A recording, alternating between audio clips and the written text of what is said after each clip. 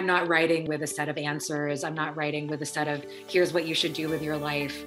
The book is really written as like, let's look at these complicated problems together for a long time and just sit with it and mm-hmm. see what happens, you know. Jia Tolentino, first of all, congratulations for somebody so young. You're already showing a lot of promise in the field of journalism, and also your book hitting number two on the New York uh, Times bestseller list. Congratulations on everything. Thank you.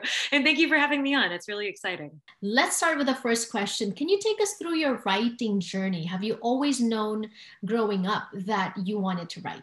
Yeah, I think it's always been the only thing that I was good at. I I can't even remember the first thing that I wrote. I was just, you know, as soon as I could read, I had my head in a book. I would read while I was roller skating around the neighborhood. I would read in the bathtub, at the dinner table. You know, I was that kind of kid. And I was always writing, you know, I would keep a journal. I would write stories about girls who opened a door in the closet and ended up in a new world. You know, like it was just all the time. I constantly read and wrote almost compulsively.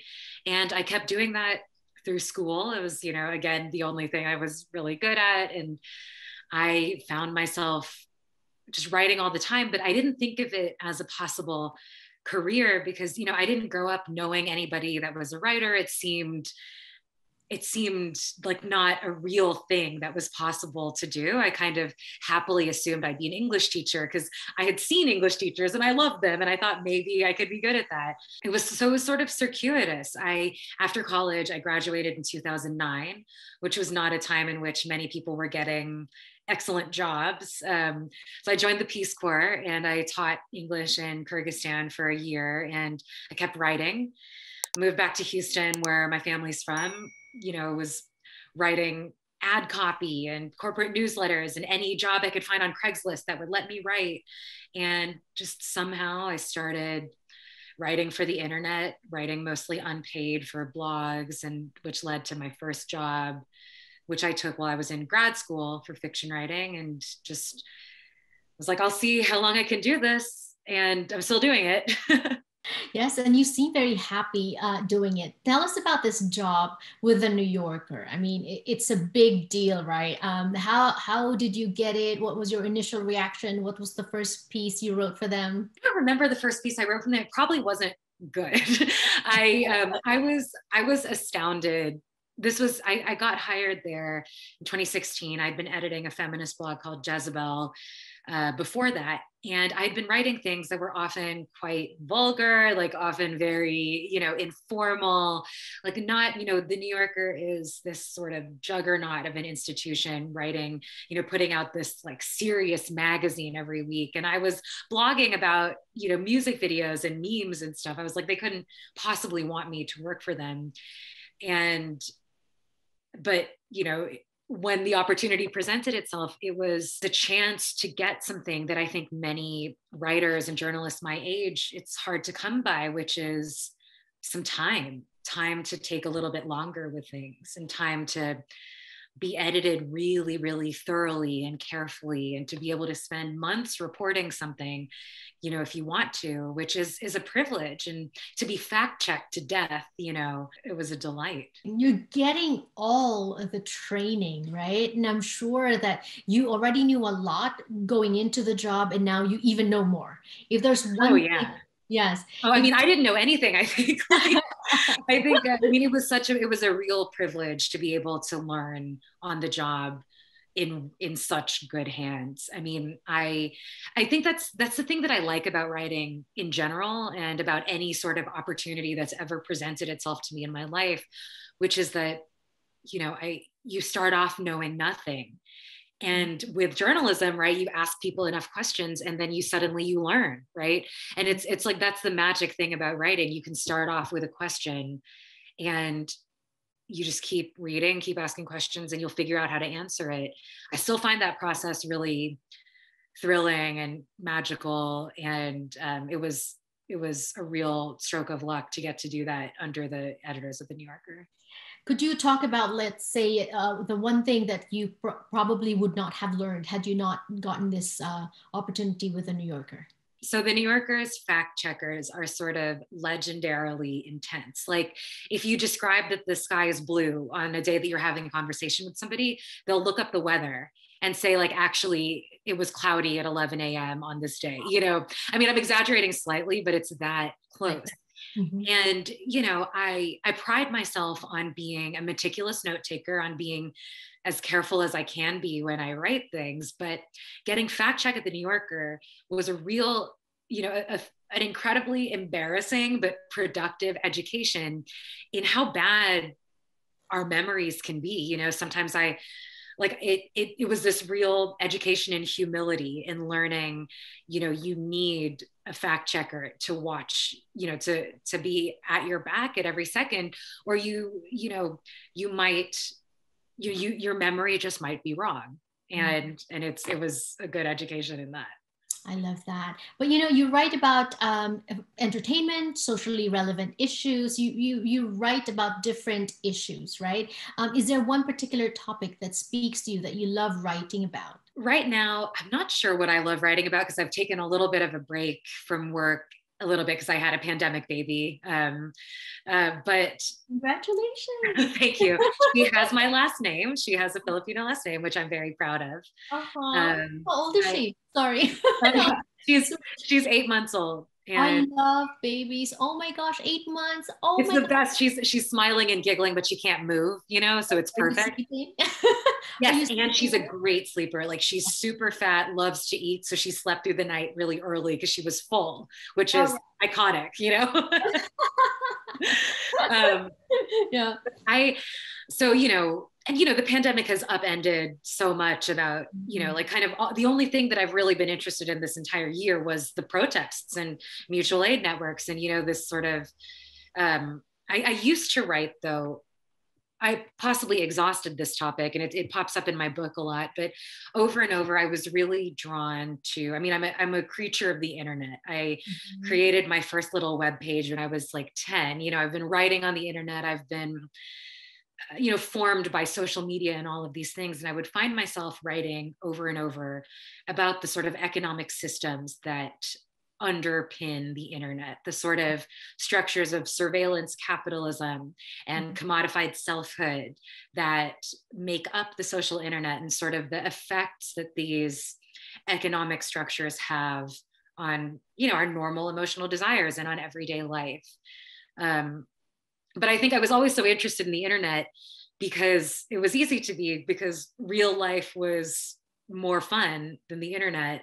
It was always, you know, the, the internet was this kind of thing to look at. But then during the pandemic, the internet became the entire world and mm-hmm. real life became, you know, this very constrained thing. And I stopped, I stopped being able to write about the internet in a lot of ways. How has COVID affected you and your career? As someone who is conscious on an everyday basis of her luck you know covid i feel has intensified that for men, you know for those of us who are lucky enough to be able to work at home right? I mean so many people like my mom has been going to her job at a medical clinic every day you know like like you know so many of my cousins are nurses right? Like like there are i've been really aware of this luxury that i have been able to safely work at home this entire time. Mm-hmm. and the last year has been mystifying and bewildering and scary and strange in so many ways that it has shaken up my interests, my preconceptions, my priorities, you know, in un, uncountable ways. But in terms of my actual work life, I'm just here sitting at my computer typing like I always do, you know, like like this this this coddled job that I have where I just sit and type, like it's unchanged basically.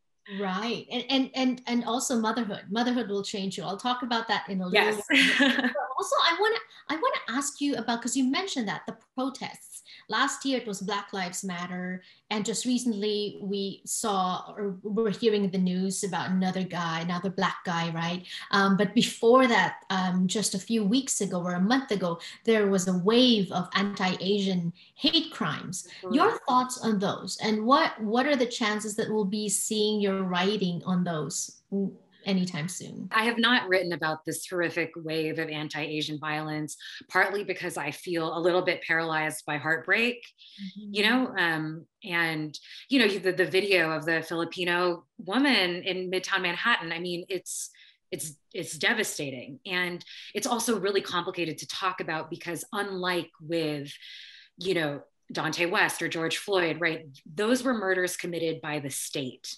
Mm-hmm. You know, these are not, this is not state violence, it's individual violence, which doesn't make it better, but it's it's a different type mm-hmm. of thing. You know, you can't make the exact analogy. And also the question of um, you know, whenever you start talking about Asian American experience or identity, it's very complex, right? Because this is a coalition with, you know, with the, the greatest income disparity within the category of any racial category in the States. There's almost no comparing the experience of, let's say, like a working class Vietnamese woman in a massage parlor to, you know, a, an upper class sort of like East Asian doctor or lawyer, right? And so it is, it's so confoundingly complicated to speak of an Asian American response, you know, a broad community.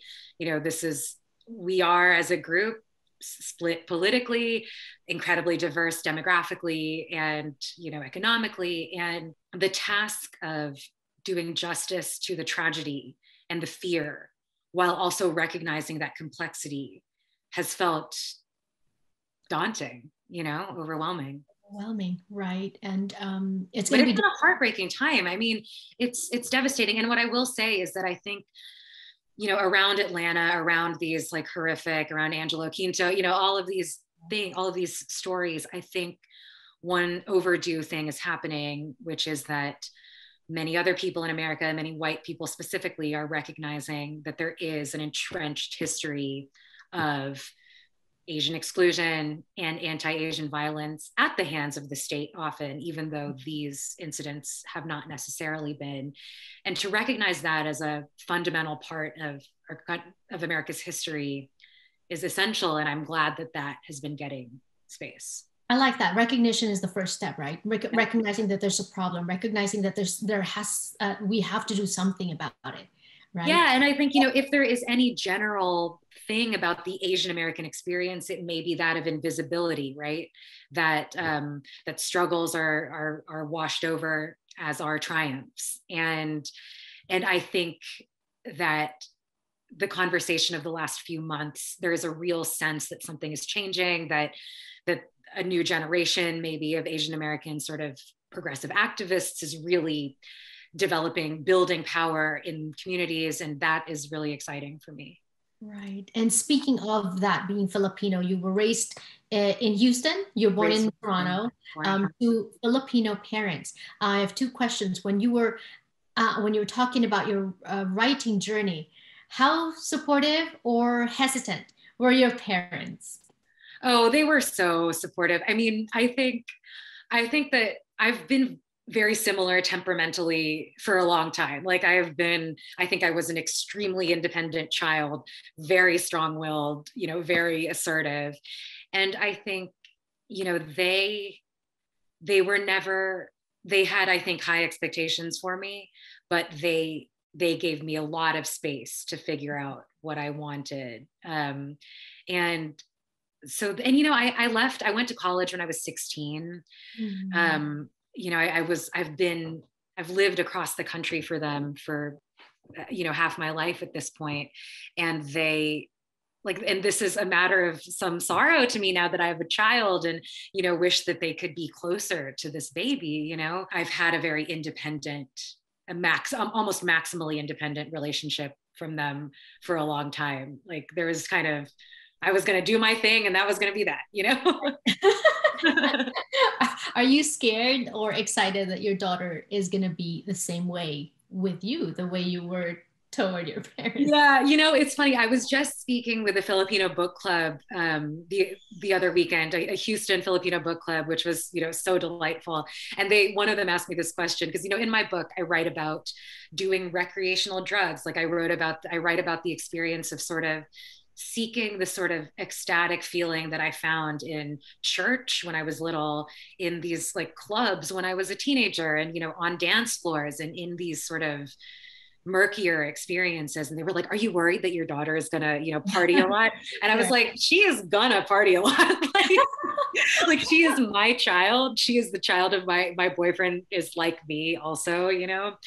And I, I hope she does. It's it's interesting. You know, I'm only eight months in to being a parent. It's hard to even consider myself that way too, because it's an experience I've had almost completely in private. You know, I haven't been mm-hmm. out in the world with this baby, but when people have children, so much of the conversation is about setting them up for individual sort of protection and success right? Mm-hmm. and that of course is the is the classic the first generation's dream for the second generation right? Protection and success.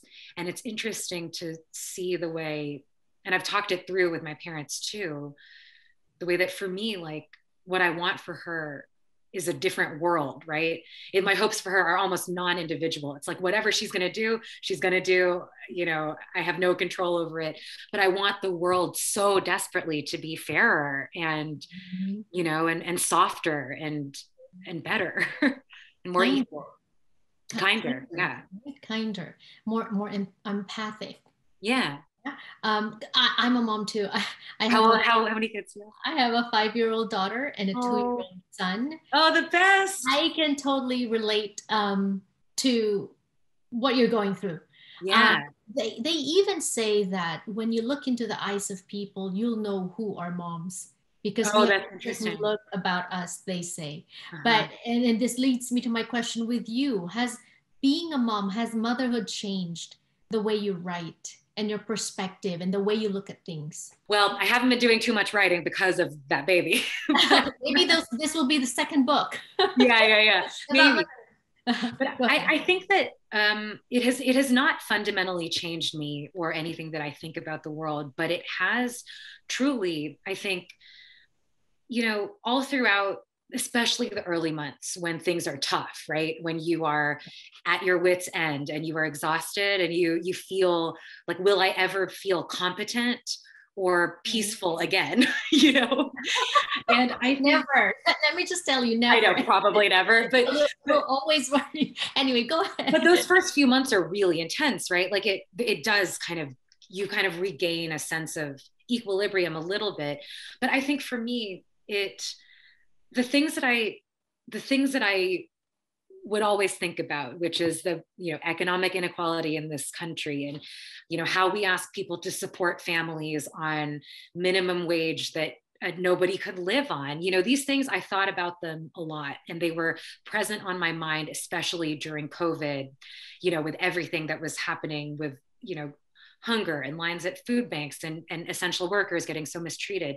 Having a kid made that much more intimate for me thinking mm-hmm. about you know that we ask parents and mothers specifically to do this you know mm-hmm. with so many people not making a living wage so many people worried about how to buy the next thing of diapers or formula you know having to go right back to work with no time off right and mm-hmm. no sort of paid no time off or, no childcare no no federally subsidized childcare no you know none of these things. And in that way i wouldn't say that parenthood has been radicalizing because i have wanted all the you know these are the this was my politics you know pre-parenthood but it's made it a lot more intimate that it's like you know how dare we ask people to to to care for care for children in a country with no safety net and mm-hmm. you know vast inequality and vast disparities in every way and it has made me think about how i can reorient my life around these priorities around ameliorating this in some more direct way I, lo- I love that. Um, and so when you have done that, we would love, love, love to have you back on the show. Whenever I write my book on motherhood. In fact, uh, it's it's it's such a delight talking to you. We've skipped a few questions. I'm looking at it. No, the, the, your book, okay, your first book, that's been such a huge hit. Did you expect that it was going to be received? Like- no, I didn't expect anyone to read it at all. what do you think? Um, connected with the people. If i were to venture a guess i mean i have no idea. And i i you know I, I really don't know. I was i was shocked. It has been incredibly meaningful and surprising and reassuring that this one specific aspect of it the fact that i go on book tour and there'd be a, a room full of people and there would be this sort of collective admission certainly on my part but on everyone there part too that we're all worried about the same things you know like we all the things that keep us up late at night you know we're mm-hmm. worrying about and it's it's so intense i feel for especially for people and even as it's been published in countries in other countries around the world that you know people are worried about we're all thinking about this sort of terminal stage of capitalism and what the internet is doing to politics and we're worried about about about how to live in a world mm-hmm. That is structured with such like often such monstrous incentives. And um and i think maybe one of the things like I am a deeply imperfect and ordinary person and I tried to make that extremely clear in my work you know that I I'm not writing with a set of answers. I'm not writing with a set of here's what you should do with your life. The book is really written as like let's look at these complicated problems together for a long time and just sit with it mm-hmm. and see what happens you know? And what was your what was the impetus for you writing or coming out with that book? Did you decide first to write a collection of essays or were these essays that you wrote and then decided to collect in a book? I wrote them all for the book. It was really there were there were there was a set of questions sort of in the back of my mind that i'd always thought you know if i ever get the time i could write like 10,000 words about this you know but i mm-hmm. i wanted it to be like things that i didn't want people to be reading on their phone scrolling a website like something that would really require an like a full immersion of your intention in a book. And then eventually right. enough of these questions just built up and i was like maybe i should just write a book and see. Does being filipino contribute to your writing and in what way or how so one of the secret goals that i had for my book was that it was it was a book that it was it was marketed and received as sort of a mainstream book about culture. Mm-hmm. But, you know, it is fully grounded in the point of view of a Filipino woman, right? Like a, a it, it is, and I think it was important to me that I could write a book that was mostly about women, but have it be read as just a book about culture, that I could write a book from a non-white, you know, from a from a minority American's perspective and have that be like exactly to have that be a, a, completely normal thing for someone to be right in the center of the conversation but not be a white man right? And um and i think specifically though it's specifically being filipino has this this is something that I wrote about in a review of Cathy Park Hong's Minor Feelings, which is have you which is one of the best books about Asian identity. You, you I'm starting it now. I'm starting it now because somebody um, also mentioned that to us um, during our event. It's so so good, and she writes about this the complex identity position of any kind of Asian American group, and Filipinos have such a specific you know legacy of you know Americanization and colonization. Yes. And all, yes all of these things. But for me, growing up Filipino in a mostly white, in an almost entirely white community in my school, this private school in Houston that I was on scholarship to, it um, it was a real education in how a structure of power, in this case American racism, would both could both benefit you and punish you at the same time.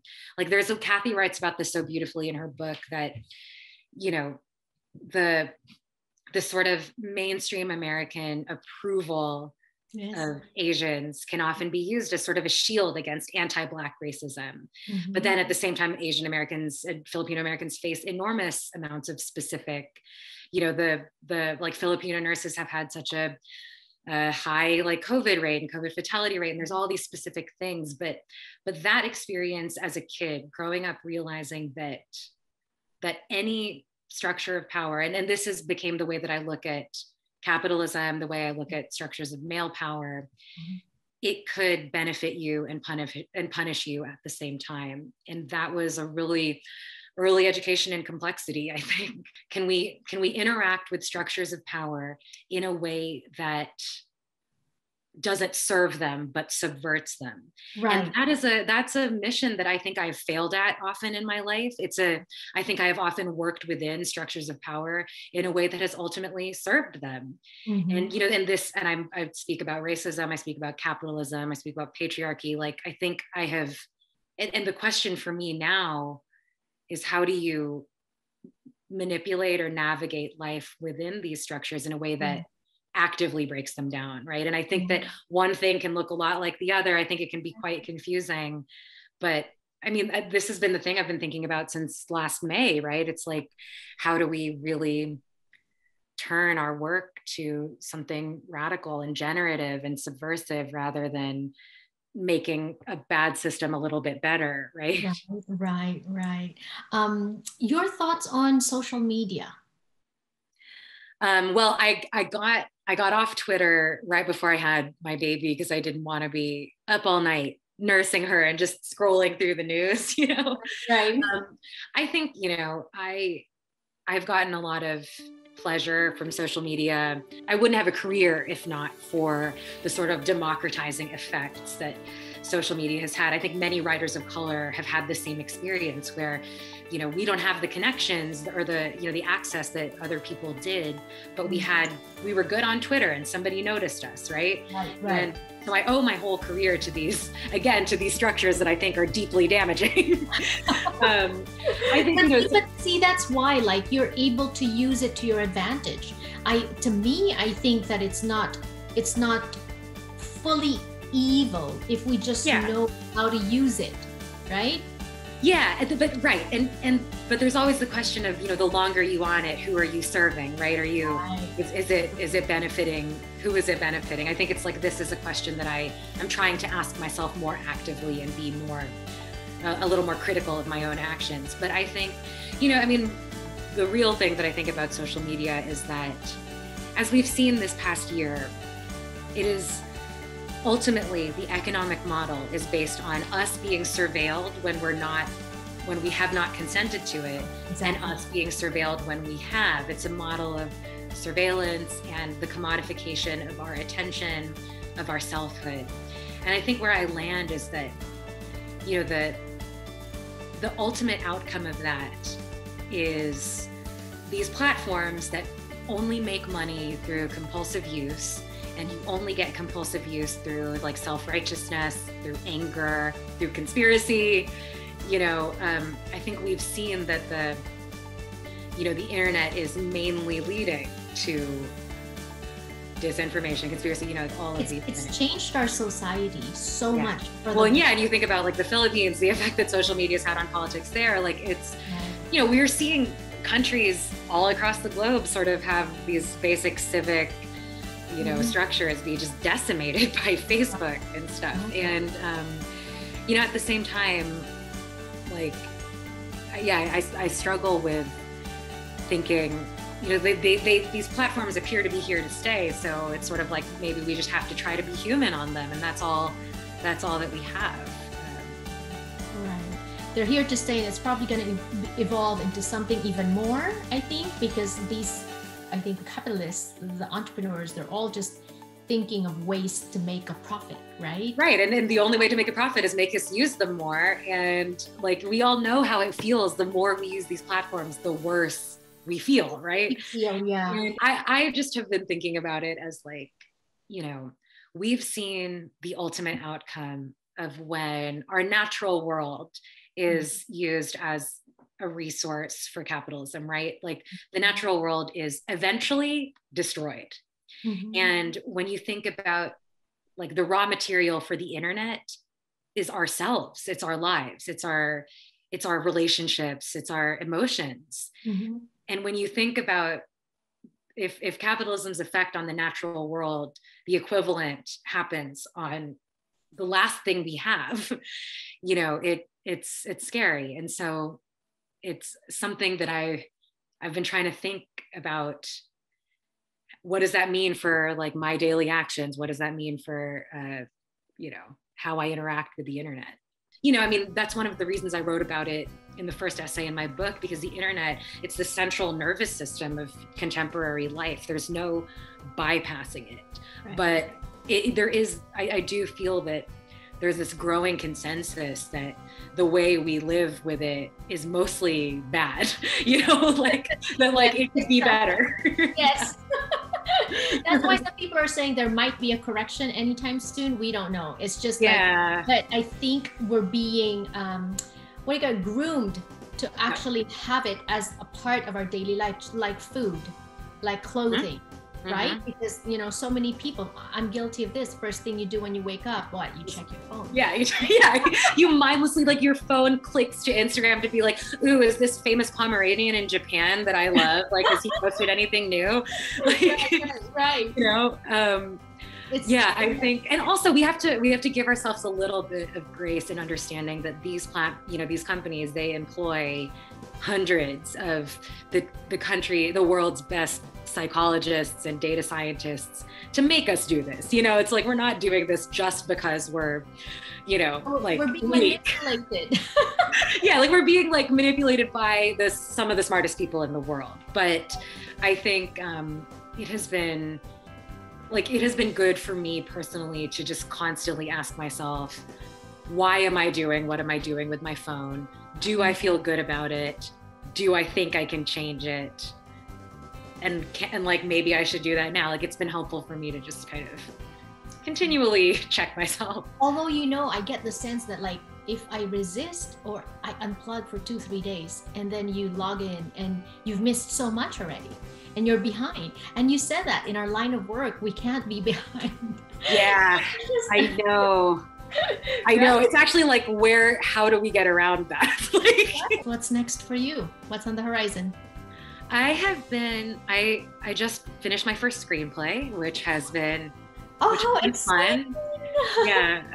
Um, it yeah. It turns out like that's the kind of work that you can do with a baby because you don't have to call anybody. You don't have to. You know, when you're reporting, you have to get people on the phone on Zoom and you know, you have to interview right interview people with a baby is like you know i can put her to bed and sort of work late at night on this thing um, so i just wrote my first screenplay it's been really fun and I'm working on some stuff for the New Yorker, slowly easing back, but um, who knows, you know? this has been so delightful. Thank you so much for your time. Yeah, it's been so nice to talk to you. More power to you.